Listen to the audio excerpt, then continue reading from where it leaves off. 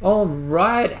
Hello, everybody. Welcome to Tasting Tuesday, a, an hour long kind of chat about all things wine. Um, welcome, welcome, welcome. Let's see who is first. Um, just uh, the first one on there, if you can let me know whether I am coming through to you loud and clear. My screen says we're having trouble playing the video. Cindy's there. Hello, Cindy. Uh, do you see me? Can you hear me? Everything's good? Thumbs up. Uh, Marina Hamilton Scott is there. James Belithio. Uh, good evening to you, sir. Who else is there? Paul Carney, fellow wine lovers, indeed. Beth Smith, lovely to see you and the family the other day. It's always nice. Susan Swain, um, loud and clear. Thank you so much. Appreciate it. Susan Glenn, hello. Marianne Clemente up in Michigan. Hi, Marianne. I hope you and the family are doing well. Send my love to Drennan and the rest of the family. There's Kathy Clifton.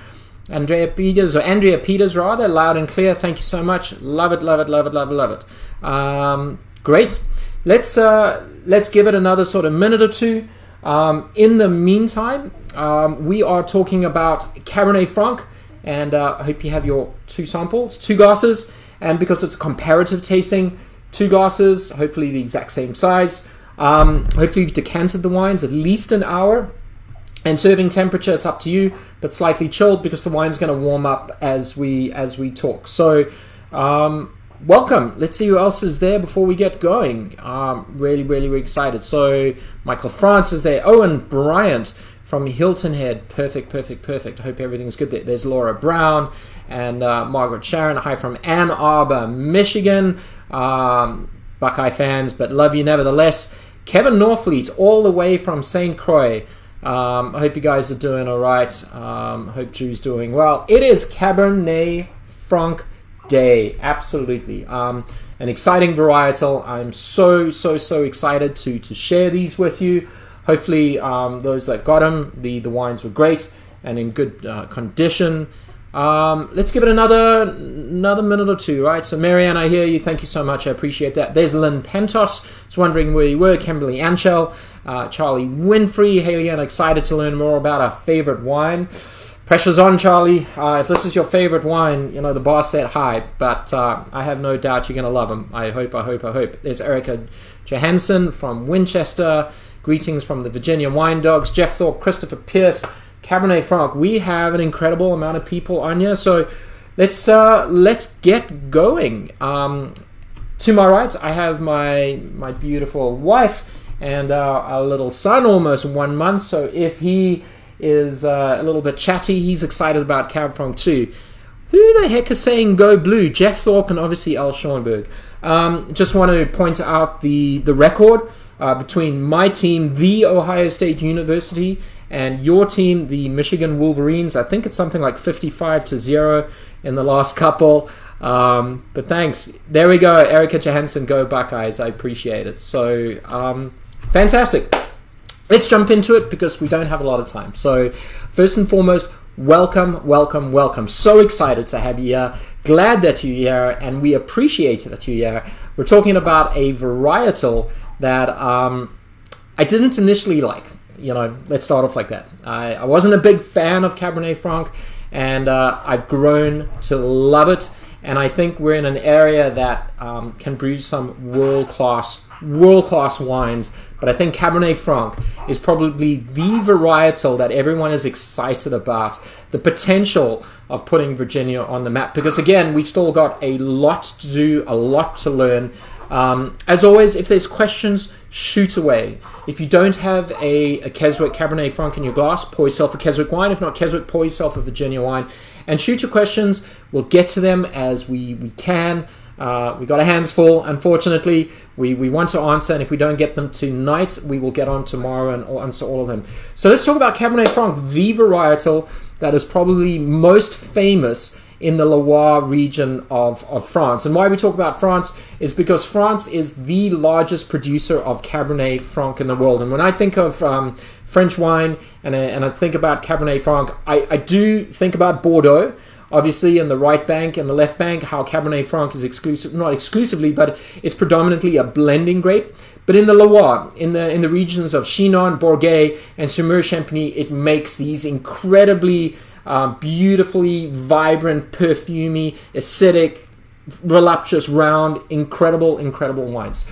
Um, how did it come to be there? So it was established in the Libournais region um, roughly in the 17th century. In that part of the world, it's known as Breton. Where does that name come from? That is the name of the abbot who took the cuttings and planted it in the um, at the abbot of uh, or the abbey rather of Bourgueil. All right, so that's the name.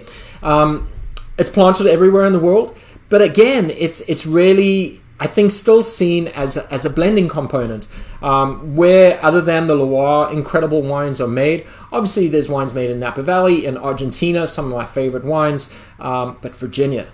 Virginia is is where I am excited to be making these wines. So we're going to spend some time talking about the grape viticulturally. We're going to spend a little bit of time talking about what we can do in the winery to sort of express um, the terroir. And when we talk about terroir, we're talking about the influences, the conditions, the climatic, the things that are, are, are not replicable, meaning that, you know, it's the soil, the slope, the row orientation, the age of the vines, uh, the sunshine and the rainfall, all of those things that make our vineyard unique. All right, so we're talking about a red wine, but when we talk about Cabernet Franc, I use, um, or rather, we talk about a lot of green. And when we talk about green Cabernet Franc, we're talking about what we call MPs.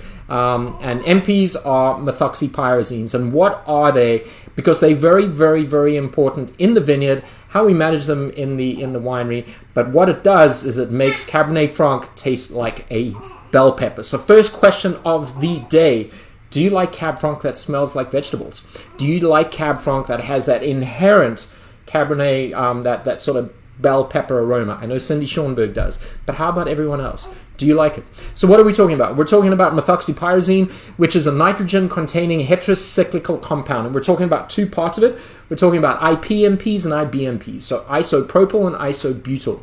And the rough threshold in wine is anywhere from 1 to 6 nanograms per liter.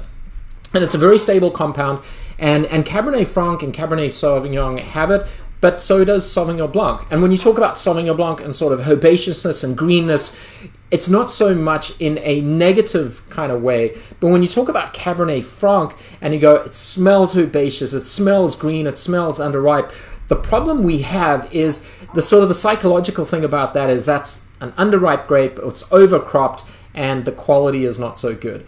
Um, you know, so we work very, very, very hard in the vineyard to, to make sure, number one, we reduce the impact of the, the MPs or the methoxypyrazines or pyrazines, if you want to be um, a little bit more, um, you know, kind of spot on. And then what do we do in the vineyard to make sure that when you smell this wine, you get the fruits, you get the spice, you get the violets, you get the dried herbs. Um, because what we want to do is make sure that we have a, a wine that, that communicates the varietal, but really doesn't amplify sort of the greenness. So the first thing we got to know is that it's directly correlated to vegetative growth.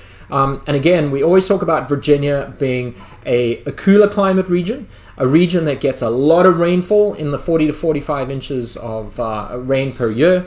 And in years like 2018, when you have a lot of water and the vines have a lot of access to water, their, their vegetative growth is out of control. And that generally leads to elevated levels of, uh, of sort of these green or these pyrazines, which I'll refer to them from now on. So the first thing we always talk about is our, our soil, right?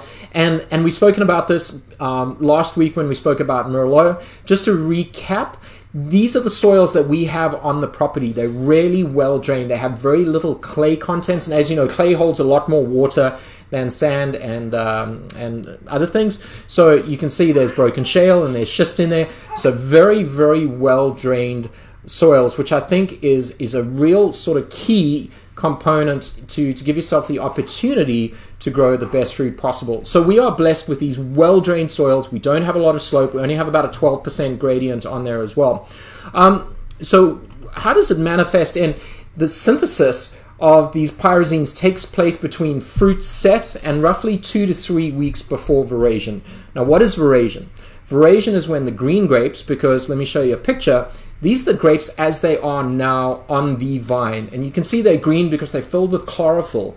But veraison is at the point at which those green berries um, turn red. You know, they go pink and then they go red and then they become black. So that is veraison. So the synthesis of these methoxypyrazines happens from about fruit set up until about two to three weeks um, before veraison.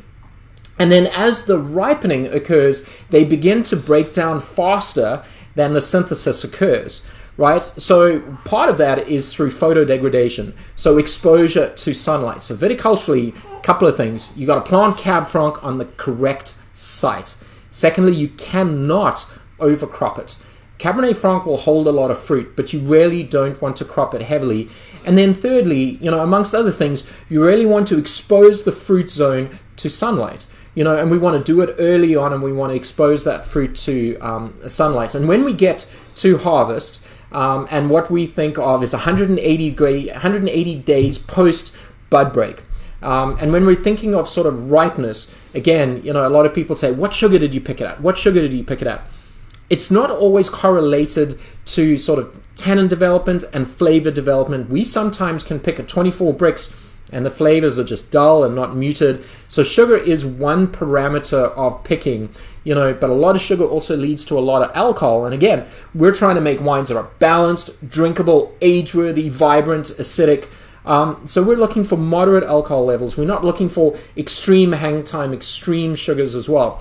But at the end of the day, when you've given yourself the chance, and we're talking about 2019 vintage wines today, 19 was an incredible vintage. And, and again, the definition, very simply, an incredible vintage for us is when we can pick the grapes on our terms. We're not dictated to by, you know, wildlife damage or rainfall or, you know, fruit that's rotten or anything like that. But at, at harvest, the highest incidence of methoxypyrazines are in the stems. So why is that important? Well, is because we have to sort the fruit. Um, this is why we sort the fruit because those pyrazines are in the in the stems, and when we run them through the destemmer, we put them on a belt, and we literally pick out all the sort of the green stems. And if we don't, we're going to get them into the wine. Um, we're going to get catechin and epicatechin, which are sort of the bitter compounds, but we're going to get a lot more sort of incidences and opportunity to extract um, these pyrazine sort of characters into the wine. So viticulturally, you know, picking parameters, right site, managing it, controlling the vigor and the vegetative growth, and then when we, we've picked, we've, we sort very, very heavily, which I think with Cabernet Franc is incredibly, incredibly, incredibly important. The other thing is, you know, research has suggested that there are more pyrazines in basal leaves, the, the really old leaves at the bottom of the stem, and in laterals. Now, a lateral shoot is a shoot that grows between the shoot and a leaf. Those lateral shoots have a lot. So again, when we pull, and we're trying to pull out the basal leaves, we're trying to pull out a lot of laterals. Um, the other thing that really sort of impacts us is the infestation of ladybugs. Why is that important? Because if ladybugs get into the fermenter or into the crusher, we're going to extract hemolymph. And what is hemolymph? Hemolymph is the um, is the equivalent to blood in, in an insect. So we want to make sure that we don't have an infestation, an infestation of bugs, right? So you need Mother Nature to be cooperative. You need to be able to hang the fruit to get those sort of flavor developments and the seed developments and the tannin developments. You got to make sure that your canopy management is done correctly, your cropping levels are adequate. You don't want to be undercrop where you're only getting like 25 cases a, an acre. That's obviously not practical. But you don't want to overcrop it where the vine cannot fully ripen that fruit. You want to make sure that your, your fruit zone is open to sunlight, but not too much because you don't want to burn the fruit. And then obviously you want to pick the fruit in a healthy condition, devoid of any insect damage, or in this case, ladybug. And it's called ladybug taint. So you know, fun fact for the day: hemolymph, which is the fluid in the in the in the bug itself, which is uh, what what the equivalent of blood is, that can go in and that can be a source of greenness in the um in the fruit.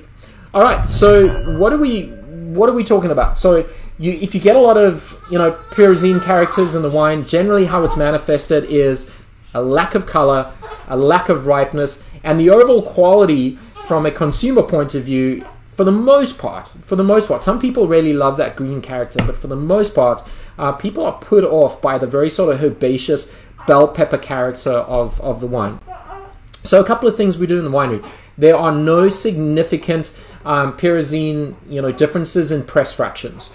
There has been sort of data to suggest, but newer research has shown that sort of free run, lightly pressed, and heavy pressed really sort of manifest the same levels of these pyrazine characters in wine. How do you do it in, in whites? Uh, settling. Um, if we have, and, and sometimes like with our V squared, we really want to make sort of a green, a thiolytic, a herbaceous wine. So we're actually trying to sort of amplify you know, the pyrazinic character in, in certain varietals. But if you're trying to reduce it in white wines, settling through an aid of a pectolytic enzyme. And an enzyme, as you know, is a catalyst that speeds up a reaction. But it is thought that the, the pyrazinic characters actually bind with the grape solids, and that's why we settle. So when we press, we get this really sort of dirty juice, goes into the tank, we turn the chilling on, we use pectolytic enzyme, which is uh, enzyme breaks down pectin and it speeds up the reaction and the settling thereof. And it's thought those, those pyrazines actually settle to the bottom of the vessel, leaving juice that is actually minimized. And you can actually reduce the pyrazinic character about 50%. In terms of fermentation, you know, and again, fermentation, very simply, is sugar in the form of glucose and fructose turning into alcohol. And what that happens is because we're fermenting on the skins, the carbon dioxide is one of the byproducts that actually pushes the skins to the top. And we talk a lot about sort of pumping over. Um, I was trying to find, let's see, um, I can't pull that up for some other reason. Um, never mind. I was trying to pull up a, uh, a photo of a pump over. But there's really, again, no differences between the timing, the pump over, the punch down, or rotation tanks, whatever it is, right?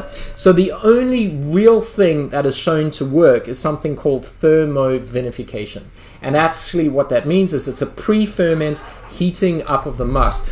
And why that uh, kind of reduces sort of greenness in um, in sort of the wine is that the the pyrazines are actually volatile above 50 degrees centigrade. Um, so again, if you have greenness and flash détente, but if you really cook your must, uh, you can actually, you know, kind of reduce the sort of the the incidence of those the pyrazinic characters.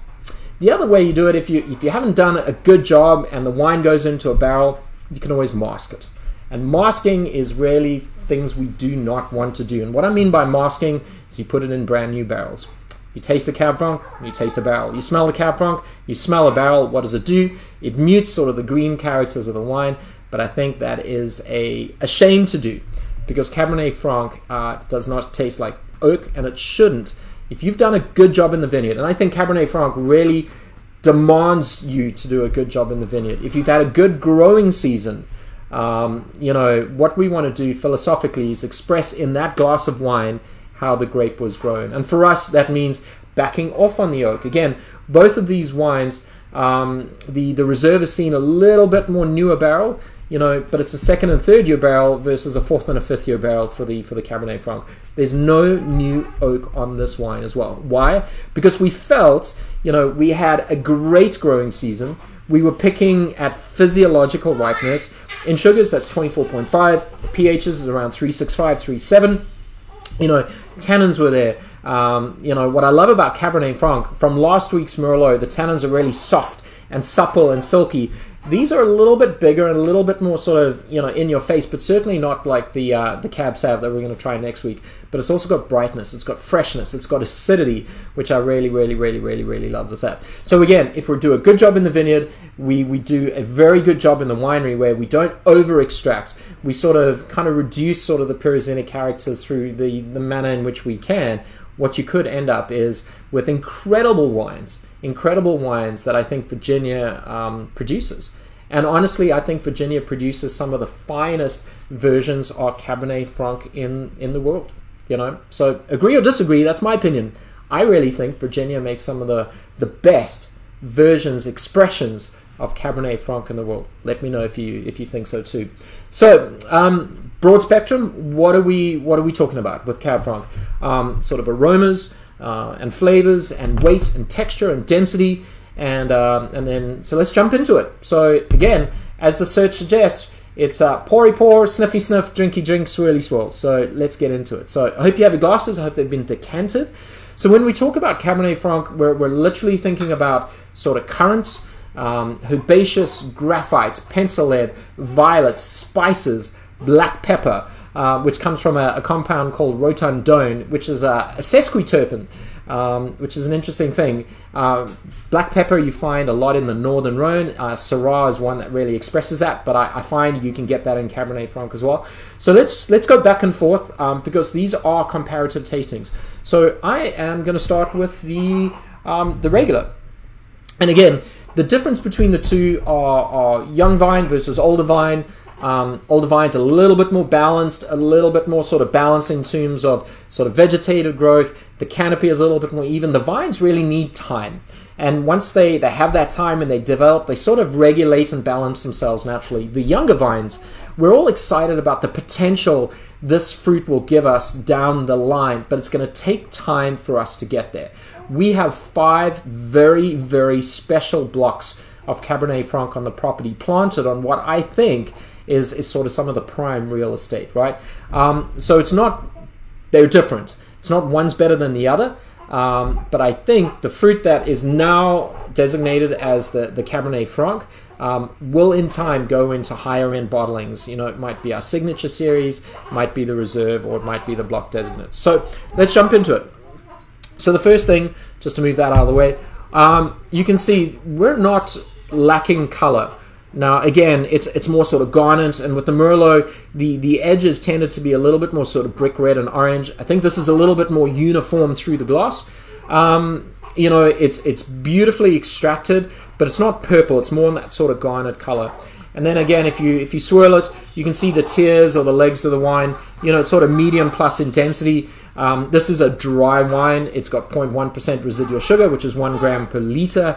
The alcohol is moderate. It's 14. It's not 14.5 or 15, which puts it in the higher levels of wine. Um, but the visual is just one thing, right? And uh, there's Mr. Alakai. He's he's got a lot to say.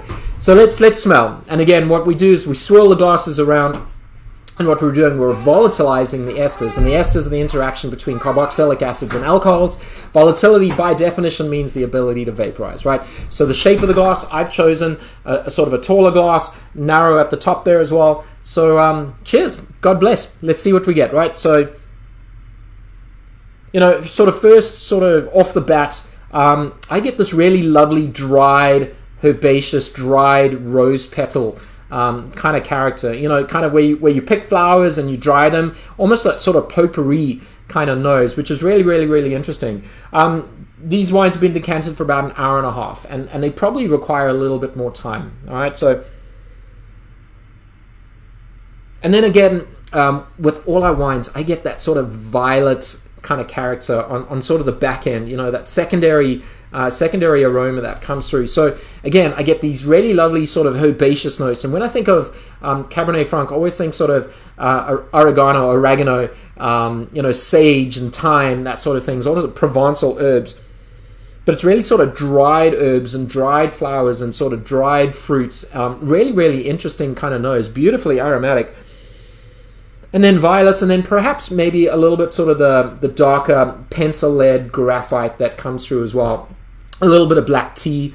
I don't get a lot of sort of um, inherent mocha or, or, sort of flavors that I would say are derived from the barrel itself, but beautifully expressive, very sort of savory, and you know, just makes you want to dive in and, and drink the damn wine. So, so let's do exactly that. So, cheers.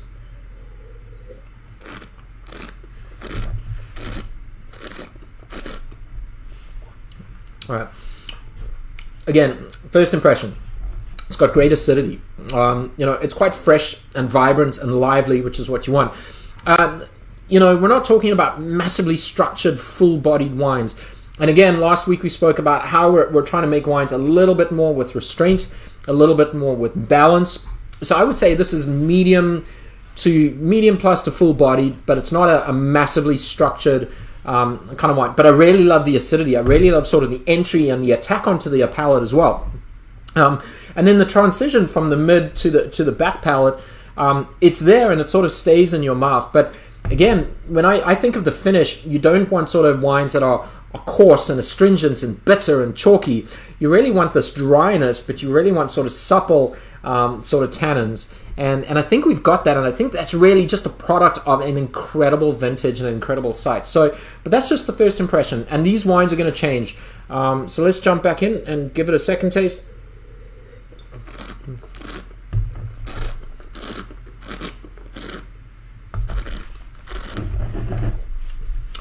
Yeah, I love the vibrancy and how fresh and light it is on the on the front. Um, but it's got some weight, it's got some texture. But I really think the wines are balanced. And again, when we talk about balance, we're talking about harmonious, you know, composition of the parts: the alcohol, and the fruit, and the acid and the tannin. Now, these wines are in tank; they've been assembled. The barrels have all been third and fourth year barrels, small barriques. And again, if you look behind me, the barriques are the smaller barrels on the top there versus the puncheon style barrels, which are the 500 litre, which is the reserve. So, talking about the reserve, let's jump into that. Um, again, is it noticeably Cab Franc? If it is, how does it differ? So, um, if you look at it side by side, you know, color wise, and if you hold the wines at a sort of slight angle against a white background, you know, you could really, really see a, a subtle difference. And I really think the, the reserve is a touch darker you know, uh, it has a little bit more sort of denseness to it, a little bit darker throughout the wine as well, which is which is great to see. Um, very different. Uh, doesn't have sort of that uh, lovely herbaceousness and potpourri. This is this is really more on the on the spicy spectrum. You know, um, really sort of African spices. You know, black pepper. But the one thing I don't get, and thank God, is greenness. I don't get any sort of vegetal, stemmy, herbaceous character. Thank the Pope, thank the Lord, thank my vineyard staff because they do an incredible job growing this fruit. So I really love the fact, first and foremost, there's no greenness, there's no inherent greenness, but I think the varietal character comes through. It has that spice, it has that lovely herbaceousness, but in a good way, not in an underripe way. We get a lot of sort of black tea on this wine. Again, you know, the, the black pepper I think comes through, you know, the graphite you know, the minerality almost, you know, um, that sort of slatiness almost in the way. Maybe some dark chocolate or sort of bitter chocolate on the notes there as well. But again, the reserve wines tend to be a little bit tighter, not aromatically as expressive, because the one sort of distinction between the wines, I would say right now, just aromatically, is this wine is going to take time. The reserve is going to take time. It's going to evolve. You know, both of these wines require time. They're going to be drinkable. They're going to be accessible. They're going to provide enjoyment. But if you really, really want to get what Keswick Cabernet Franc is all about, you want to drink these wines three, five, six, seven years down the line as well. So again, you know, really, really intriguing, aromatic, um, beautifully expressive. I think varietally correct. No greenness. Thank goodness for me. Um, let's taste it.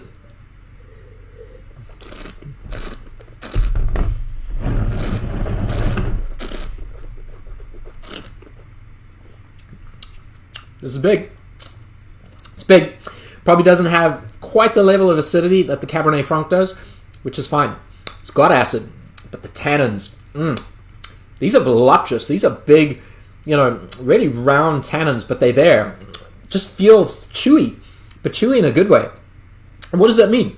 Um, just that it needs time. It's time. It's a young wine. We bottled this in August. Um, we've also got a couple of block designates coming your way. But I think this is just going to take time. It's going to become phenomenal. Um, I love them right now. They are different. And again, the soil composition is very similar. The, the row orientation is 90 degrees. Um, the older vine is east-west. The younger vines are north-south. Uh, that's just really important in terms of how the sun rises. Obviously, rises in the east, which is the warmer side in the morning. Um, as it goes over the horizon in the west, that's the really hotter part of the day. So when you pull leaves, we pull very heavily on the east side. We pull less heavily on the uh, on the west side, north south. So canopy management's a little bit different. Two different clones, two different rootstocks. Uh, the reserve is actually planted around 808 vines an acre. Um, the young vines are planted a little bit more densely, um, around 1400 vines an acre. And again, the reason that is really important and exciting is that every every vine can carry less fruit. Um, again, we're not grape growers. We always say we're not in the grape growing business, we're in the wine growing business. We want to grow the kind of fruit that allows us to make the kind of wines that um, we have. So let's just jump um, back and forth again. I hope you're enjoying these wines. Um, and then I'll flip over. I do apologize. My wife took Alakai out. He was uh, a little bit fussy. And um, I'll jump through and see if there's any questions that we can answer. So bear with me. So definitely, um, I love sort of the dried kind of character that comes through. The dried flowers, the potpourri, the herbaceousness really intriguing, and that's the entry level um, Cabernet Franc. I think it's wonderful. Uh, it's beautiful. It's expressive. It's floral. Um, it's it's a weird sort of term for reds, but you get this really lovely floral kind of character. The violets, especially, that comes out, which I I always think violets is more like an earthier component than anything else. So. Yeah, very light and vibrant and zingy and it's serious, and um, it's a wine you can drink, and it, it's definitely going to be a great sort of food pairing wine. And then the reserve wine, yeah, a little quieter of the two, maybe not a showboaty, very serious. You know, the philosophical kind of type. You know, the one that you got to pick their brain, and they got so much to share with you, but you got to kind of break them down a little bit. This one's going to be your friend immediately. This one needs to warm up to you. Put it that way. All right. Definitely a lot going on with both of these wines. Um, I hope you love them. I enjoy them.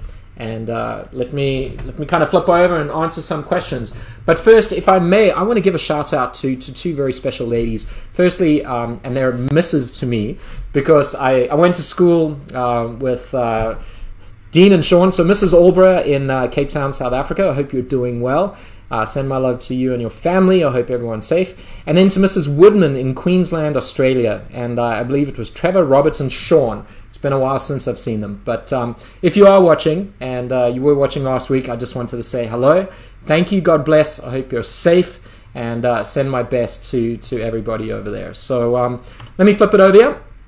And um, let me let me see. Um, all right. So first question is uh, the yeast both of these wines are actually fermented um, with um, with yeast, commercial strains of yeast, yeast that are designed to ferment, you know, at a, at a certain temperature that require uh, less food. And when we talk about food, um, you know, um, we're, we're talking about nitrogen levels. So both of these wines are fermented now when we're talking about um, you know wines where we want to sort of express the microflora, we do a lot of sort of ambient fermentations where we don't add yeast. Um, but with these, we decided to to sort of add a commercial yeast to control it a little bit. But with our block designated wines, um, we're, we're talking about ambient fermentation. So really, really exciting, really question. So Frank Morgan, uh, question in the intro. You spoke about Cabernet Francs from the Loire which is my favorite region outside of Virginia, of course. Is there a producer you believe is the uh, the Cab Franc benchmark? Um, that's a great question. Um, is is definitely one of my favorites. I think the Raffault wines in the Loire are, are incredible. I think price point to quality. Um, Famille de Vaux, I, I, I, think, is one. But what I really like is Chateau de Villeneuve. Um, but I, I love that region. I love the restraint. I love the sort of the the character of the wines as well. Um, and Chateau Yvonne would be one. Outside of Chinon and outside of Virginia, um, I love a, a, winery called El Enemigo in uh, Mendoza in Argentina. There's a winery in Australia that I think makes incredible Cabernet Franc called Kellybrook. And then if you think of Napa Valley, um, the one that really, really stands out to me that I've really enjoyed is La Jota uh, J O T A, which I might have, um, I might be mispronouncing that, but Darioush and Dao, but La Jota is is an incredible, incredible sort of varietal. So I hope that um, I hope that answers answers your question. But yeah, the that the Raffault, and I'm just looking at Veugeot. Um, I, I agree 100% with you, but uh, Famille de and Chateau Yvonne are, are two that I really, really enjoy. So thank you to that, Frank. I appreciate it, and I appreciate you spending some time with us. Dennis Sugamelli, good evening to you. And Marsha, what was your barrel program for the Cab Franc 2014 Reserve? Um, going back a few years now, Cabernet Franc Reserve uh, one of my favorite favorite wines. Purely, uh, I think number one, it, it, it, was our Governor's Cup winning wine, which I really really love. Um, I, have still got a few bottles. I think as good as it was then, it's it's really coming into its own. But with Cabernet Franc, we, we don't use new oak whatsoever. It's always based on the vintage. 14 was a wonderful vintage, so it was two and three year barriques. So the same size as the Cabernet Franc is in, but it's the same age that the reserve wine is in as well. Um, 10 months in barrel where the reserve will spend 10 months in barrel and the um, the regular was was nine months. But uh, great great question. Um, let's see. Pamela Jane says totally agree with me about Virginia Cab Franc. Um, I agree. Thank you so much. You know, drink Virginia wines first and foremost. And uh, I think Cabernet Franc is, is a varietal that Virginia does incredibly well.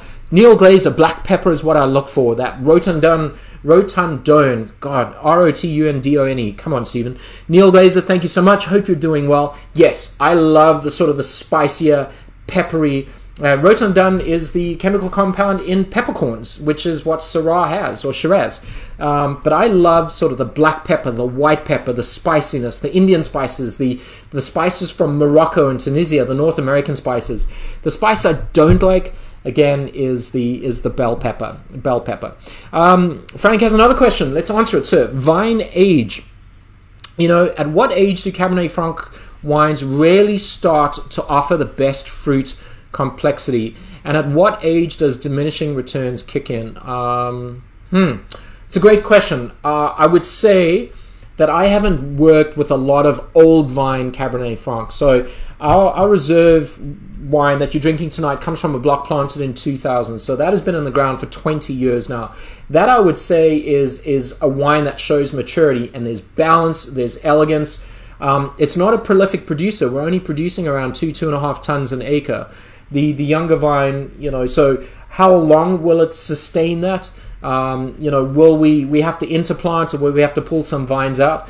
But I think it, it really needs 10 to 15 years to get there, Frank, to be honest with you. I've watched that block. I think the wines that we made early on in the in the life of that vine were, were really lovely, but they were a little imbalanced. They were maybe a bit too dark, a bit more tannic, you know, not enough acidity, slightly imbalanced.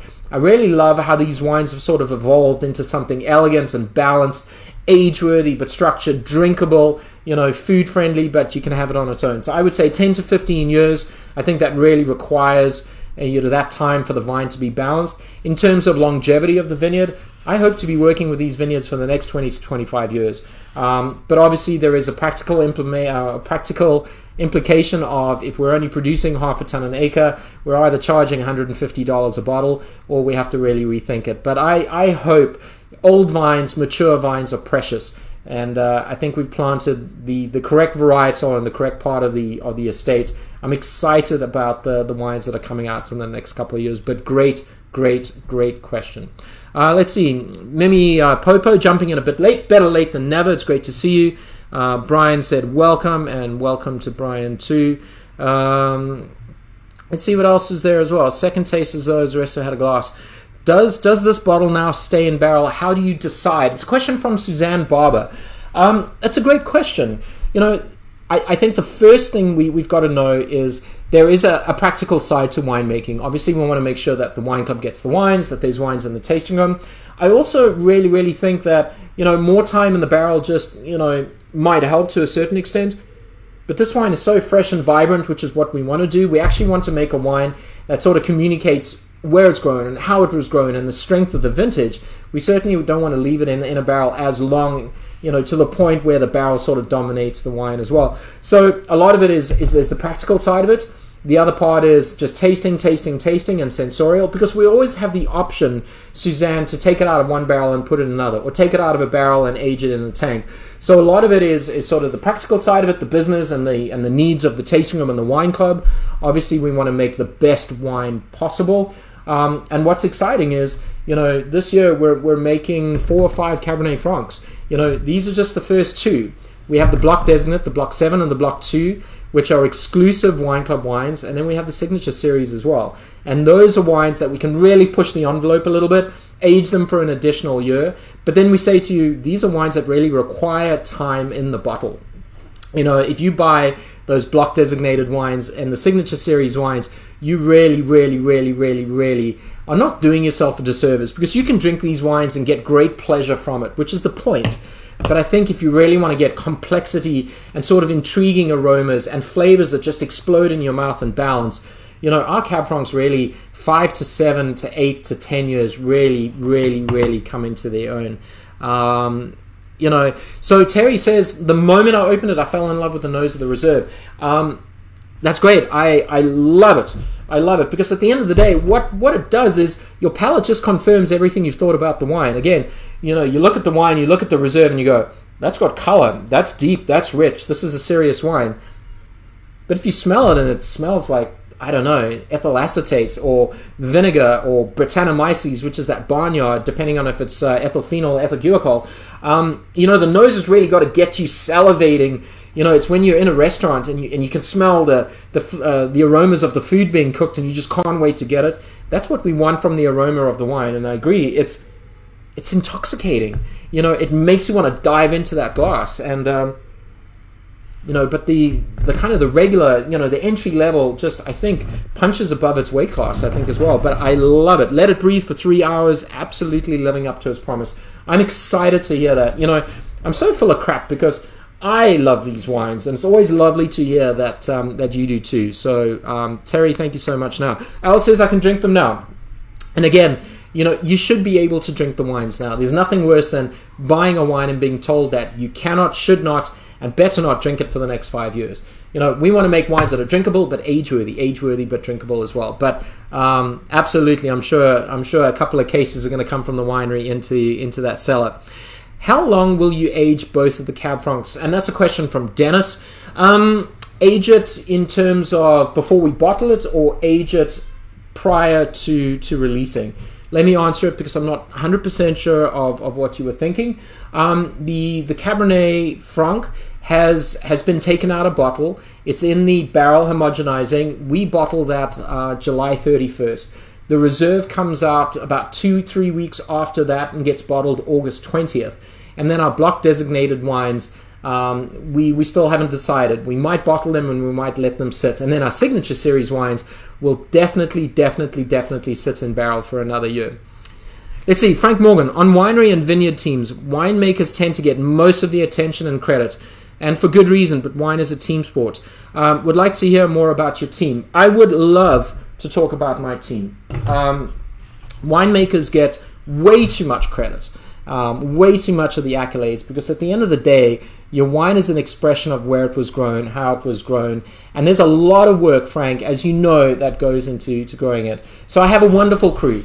Right now, I've got Manuel, Rebecca, Delfino, um, Gerardo, and I've got Lewis um, folks that are, are sort of committed to producing wines. I'm, I'm tough to work with. I'm a pain in the ass. My, my sort of quality expectations are right up there. And um, they're aligned philosophically, they do the work. And again, I would say all the credit, not some of the credit, all the credit should go to the vineyard team. Um, at the end of the day, when you have harvests like 18, and the fruit, through no fault of anybody else's, comes in underripe and undergreen. The best winemakers are going to make the best wines. But in years like 17, 14, 10, and 19, I think you know a winemaker's dream is to is to get the, the best fruit on the on the crush pad.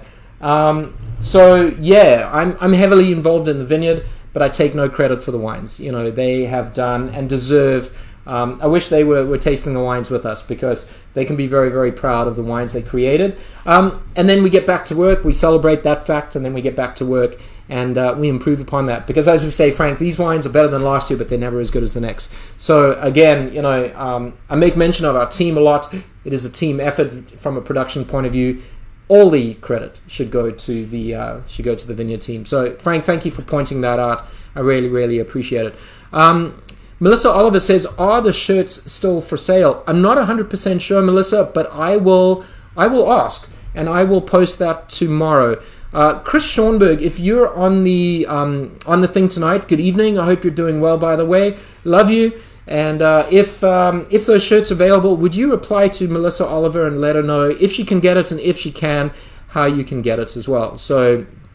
Um, Let's see. Laura Purdy says the reserve is much more fruit forward, lots of blueberry and cherry.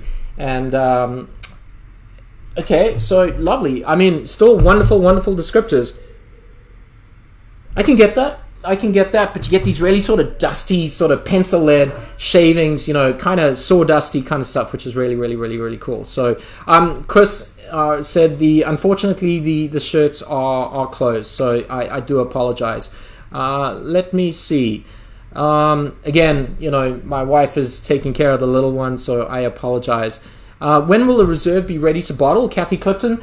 The reserve gets bottled August 20th. Kathy, and again, we want to talk about, if you stick with me for a couple more minutes, we're going to tell you about some really cool promotions that are coming up and how you can get these wines before anybody else. Um, so while I'm sort of going through, uh, let's see, um, Michael France, how's the extreme heat impacting the grapes? It's a great question the, the, the heat is, is pretty pretty severe at the moment. I mean, we've had 23 days now, consecutive days over 19, hadn't had a drop of rain, which is really really tough. So the the one thing is we we've had plenty of rain um, preseason. you know, there's enough natural groundwater in there, and what it's doing is it's driving those roots deep down. So I walked through the vineyard this afternoon. Um, I'm not seeing any signs of heat stress. And what I mean by that is if you, you hold the leaf, the leaf is warm because it's not transpirating because the stomata closes. You know, generally the leaves will turn away from the sun. I'm not seeing that. So I think because of the age, because we don't have, if we had vines that we planted three or four months ago, uh, we'd be we'd be hurting a little bit. But so far so good. We could use a little bit of rain just to sort of get things going again. Um, we want to make sure that the, the vines are healthy and they don't stop photosynthesizing as we get to veraison, uh, which will happen in the next couple of weeks. Um, but so far so good. We've, we've been riding it out, but um, you know we're we're worried. We need a little bit of water. So so thanks for that. Um, how would you rate your Cabernet Franc by year? Wow, Susan Swain, great question. Um, it's hard because I really think these 19s and 17s are some of the best that we've made. But it's hard to compare a young Cabernet Franc to a, a 14 or a 10 or a 9 that has had the, the ability to age and has developed all the sort of secondary and tertiary characters. So I would say my, my favorite vintages 7, 9, 10, 14, 16, 17, 19. That would be it. Um, I really, really believe the wines have evolved. The the wines that we're making now, I think, are better than the wines we made then. That's because of two reasons. I think number one, the vineyard has has matured and there's balance. The other thing that's matured is me, the winemaker. You know, I've really had to learn about Cab Franc. I've had to learn about growing Cab Franc in Virginia on our property. Um, but I really, really love, you know, the sort of the 10, the 14, 16, 17, and the 19. And I hope I hope that next year when we talk about wines, we're going to be talking about the 20 and how incredible that is.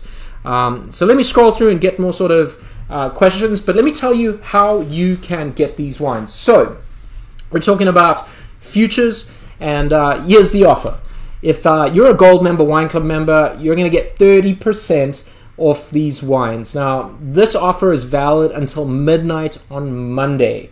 And again, the, the reserve Cab Franc is $39.95 the regular Cab Franc is uh, $34.95 and 30% off takes it to under $25 a bottle. But as they always say, that's not all.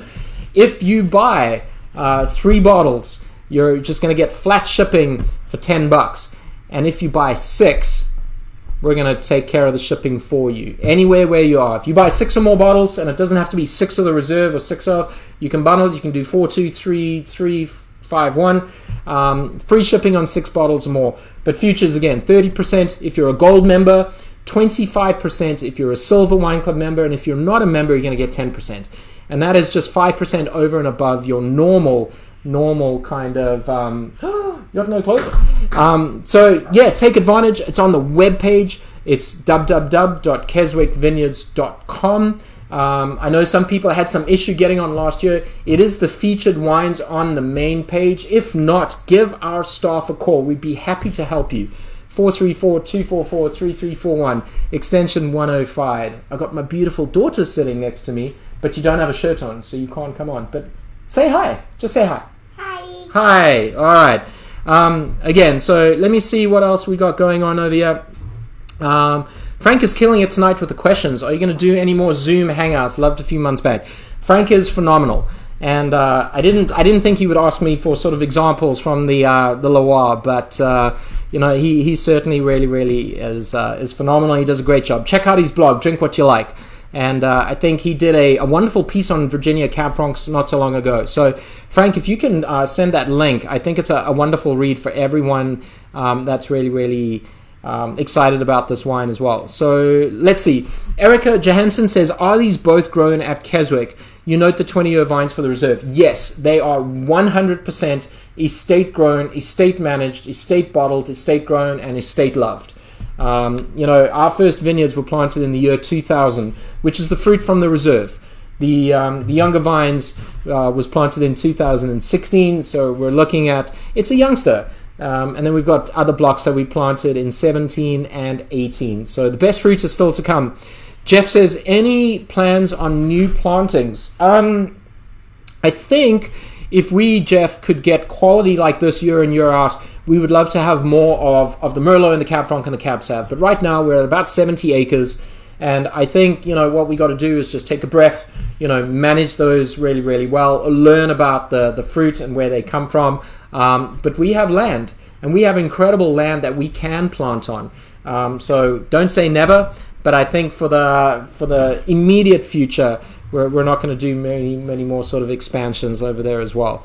Um, let's see. Production is key. It's a business after all, relating to aging vines. Uh, yeah, Neil, you're absolutely right. You know, we we have to we have to make sure that we we're not producing small lots and we're hanging on to blocks just because of our emotional attachment to them. They have to be sort of you know they have to produce, but there's a balance between production and quality. At the end of the day, you know the way forward is through quality you know, again, you know, we always say we make wines, you know, that can rival any Virginia wines. No, Virginia is saying we can make wines that can rival anything in the world, and that has always got to be the mantra. So, but you're 100% key. Production is key, and for us, our site is not a, a heavily cropping site, you know, and that's because of our really weak soils. Um, but what it means, hopefully, and this is just me bragging and, and again touting sort of all the work of the vineyard guys, is that um, you know those lower cropping levels and those really sort of extreme sites that we've got that fruit planted on is making these killer, killer, killer, killer wines. So. Um, Adam Rockhill says you weren't kidding about 2019. Uh, Adam, 2019, just a phenomenal, phenomenal year, top to bottom. Whites, reds, uh, fruit forward wines, age worthy wines really, really, really, really, really excited. Um, and Kevin says maybe in five years we can do a 2019 Cab Franc tasting. That would be incredible. So what that means, folks, is you've got to buy more than one. And we should all make a pact that we're going to put one of each of these wines away, and we'll meet back here in five years' time, and uh, we'll play the video and then jump in and try all these wines again. So it's a great sort of um, it's it's it's a great sort of idea. I'm just laughing because Al Schoenberg says my glass smells like Barnard not Barnyard. I'll take that because barnyard is sweet, he's fruity, he's voluptuous, he's age worthy, and uh, you know, nothing wrong with that. Um, Janice says, How long have these been in the barrel? Sorry, you've already said. It's not a problem. I appreciate the question. Um, the, the reserve will have been in barrel for 10 months when we take it out. The regular Cab Franc would have been in barrel for nine months, but it has come out of the barrel. It's getting ready to, to be bottled in, uh, in well in two weeks' time, so July July 30th. Um, I age Keswick's Cab Franc. Diane Norton Thomas. Oh my God. Um, what a sweet person. Diane, hope you and Scott are doing well. And uh, she says she's aged Keswick Cab Francs for over a decade and love doing my vertical tasting of Cab Franc. That's great to know. We, we really do think these wines are, are structurally sound and hopefully well made, that they could last 10, 15 years in the bottle under correct cellar facilities and conditions. But we also want to make sure that you know, you, you drink the wines and you get absolutely pleasure and enjoyment from it as well. And uh, the more we make it and the more we sort of research our older wines of their age, we'll be able to, to let you know. Let you know. Um, so uh, Dave says, first time I actually get the graphite. You know, so yeah, graphite is, is one, and pencil lead is something I get a lot. But I get that really on the reserve. I really don't get that on the um, on the sort of the entry level Cab Franc. I still get sort of the dried fruits and that dried sort of flowers and stuff like that. But it's really, really interesting as well. Um, whew, gosh, there's so many comments, so many questions. I know we're coming up to 7.53, so um, let me see. Um, Brian says, now it's my favorite varietal. 2019 does not point. These are going to be up with the 14. I've always known you, you've loved Cabernet Franc, and I'm, I'm glad to hear that. The 14 is obviously a very special wine to us, Brian. I think these 19s could be every bit as good. And then I'm also really, really excited about the Wine Club exclusive, you know, Block 7 and the Block 2. So if you've not joined the Wine Club, there's two reasons to join the Wine Club right there and then. These are wines that we're making only for you, for you to enjoy. It's our experimental, really, really sort of upper level, you know, quality kind of wines. So, um, but I appreciate that, Brian. How are the vineyards doing um, that were damaged in the spring? Asks Mimi Popo. Um, you know, by by the looks of it, the vineyards are doing great. You know, they're green, they're luscious, they're growing, they're vegetative. There's just uh, in certain parts of the vineyard, there's no fruit, and um, and that's just the the sad fact of of what we went through. You know, we had eight days where we had sort of um, close to sub-zero temperatures, and and we got a bit clattered. But there's fruit out there, Mimi. And while we're not making as much wine this year as we have done in the past, we're still very, very, very hopeful that the quality will be through the roof. Um, so really, really excited. Uh, let's see. Um, Adam says, I prefer Virginia Cab Franc, but, but Chilean Carmenere is similar. If you like uh, the Franc, give it a try if you come across one. Absolutely. Carmenere is, uh, again, it's a Bordeaux varietal. Uh, great comments, Adam. Um, absolutely, I think you, you should try it. It's a phenomenal, phenomenal wine. Uh, let's see. Um, sorry, I'm saying, can we still order the Merlot Futures 2? Um, Charlie, I tell you what, what I would do is give the tasting room a call. I know that offer expired at midnight last night, but we certainly do not want to deny you the opportunity to get that wonderful Merlot. So give us a call tomorrow in the tasting room. We're open after 10 a.m. 434 244 3341 extension 105. I believe Sarah is the manager on duty tomorrow, and we will honor the, the Merlot futures for you. So give us a call and we'll take care of you, all right? Um, gosh, that's about it. I found that Virginia Cab Franc tends to sing at six to seven of the age. What do others think? Great question, Frank. Uh, question from Frank. What do you folks think about the sort of the sweet spots of drinking wines? Do you buy wines to age or do you buy wines to drink? And uh, how many of you have, have wines that are older five years that are Cab Franc? But I agree, Frank, 100%. Six to seven years um, from, from very good producers, from very good vineyards, and very good vintages. Those wines are absolutely phenomenal. Um, let's see. Again, you know, hmm. Um, lots of questions. I'm not. Uh, I'm not getting to all of them. So we're, we're going to finish up. I know there have been some requests to see the little guy. So we'll, we'll oblige, and then if you don't mind, we'll go through the wines one more time. But um, you know, he's he's been a little bit of a chatterbox. But here's uh, the big boy, three and a half weeks old and ten pounds, with the biggest, brightest eyes you'll ever meet. Inquisitive, chatty, full of character. Um, you know, doing great. So if you haven't met him before, this is Mr. Alakai Reese Barnard who um, is doing wonderfully well. And again, for everyone that's reached out and said hello and sent their best wishes, we, we so gratefully um, appreciate it. And uh, this is the hiccups in the background and, and sort of the chatterbox. So uh, he can't say hi just yet, but um, I'm sure he's going to greet you at the tasting room one day.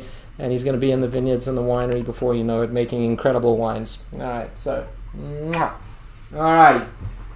So again, if I may, just to go through the wines, um, the Cabernet Franc, which I love. I think it's it's it's classic. It's it's vibrant. It's fruit forward. Um, again, that sort of dried character I just can't get away from.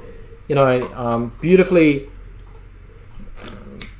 light and graceful on its feet. It's got tannins, but the acidity comes through beautifully. The Reserve, my God, the Reserve is is such a beautiful wine, but a wine that I am just sort of itching to to kind of fast forward and, and drink this in sort of five years' time. Um, and I really, really think that while the Cabernet Franc is, is approachable and drinkable and beautifully done, I really think the Reserve maybe offers just another level of complexity, maybe another level of intrigue. We always talk about wine being emotional, obviously. We want to make sure you feel something and feel something positive. But I also love sort of the intellectual sort of components of the wine where you go, this wine's changing, and there's so much more. And oh, I didn't get that nuance. Um, I just love that wine. I love that wine as well. Again, just to go through it, I know we're coming up to 8 o'clock. I don't want to waste your time any more than I have. Um, the futures, the, the, uh, the Cabernet futures will be available through midnight on Monday. The retail price is $34.95 for the Cabernet Franc. It's $39.95 for the Cabernet Franc Reserve. And what that means is you can purchase the wine pre-hand. You can also pick it up before it's really released officially. But if you're a gold member, you're just getting 5% over and above your discount. Again, three bottles, four and five, you're just going to pay 10 bucks. But if you get six, buck, uh, six bottles or more, you're going to get free shipping. If you're a silver member, you're going to get 25% discounts. And again, if you're not a wine club member, and I really wish you would be, and we want you to be a part of this really incredible club in our family, we still love you, and you're going to give you 10%. And uh, the shipping sort of promos um, um, are applicable. So let me go through uh, one or two more. Let me see. There's Marianne uh, Grablunas. Um, I love aged Virginia wines. We appreciate it. I know you're such a big proponent of Virginia and the wines, and again, Frank and everybody else who really sort of supports and, and talks about and preaches about Virginia wine. We really, really, really appreciate it. Um, Margaret Sharon says, What a beautiful boy. I'd love to say he looks like me, but I really hope he looks like Mama. And uh, if he does that and has mommy's heart and Aria's sort of character, he's going to be just fine. It's going to be just fine. Um, let's see what else there is. Um, golly, you know, one hour goes by so freaking quickly, and I think that means it's just we're having fun. We're learning something. Um, so let's uh, let's finish it up. And again, what we need is a full glass of wine to to finish up. What we got to do is uh, take care of each other, take care of our families. Life's too short to drink bad wine, and hopefully that means Virginian. Tell people you love them, hug people, share your emotions, and first and foremost, be safe. You know, um, tough times in the world. You know, be safe out there. It is freaking hot. Uh, be safe. Wear your mask. Do whatever you have you got to do. Let's get through this thing so we can welcome you back to the winery. But again, you know, from my family, you know, um, we say thank you. From our family, which is Keswick, which includes you. And if you're not part of the family by being in the Barrel Club or the Wine Club, we want you to be. Um, we say thank you too. And uh, we really appreciate you. We appreciate the generosity. We appreciate you spending your time with us. We hope you learned something. We hope you enjoyed the wine. Uh, next week, we're talking about, we're, we're stepping it up even again. You know, the Merlot was phenomenal. The Cab Franc is a different level. We're talking about Cabernet Sauvignon next week, the 2017 and the 19. Big glasses, decant them at least an hour, serve them slightly chilled. We've got a lot to talk about. I am excited for you to get that 17 in the glass. Um, gosh, you know, just want to say thank you.